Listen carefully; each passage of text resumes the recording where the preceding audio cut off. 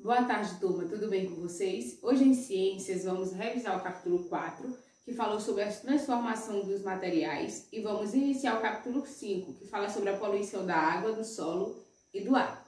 No capítulo 4 aprendemos que os materiais eles podem sofrer transformações em sua forma e composição.